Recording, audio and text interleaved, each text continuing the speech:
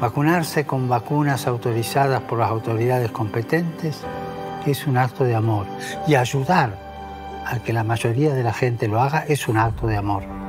Amor a uno mismo, amor a los familiares y amigos, amor a todos los pueblos.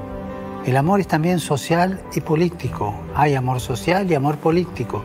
Es universal, siempre desbordante de pequeños gestos de caridad personal capaces de transformar y mejorar las sociedades.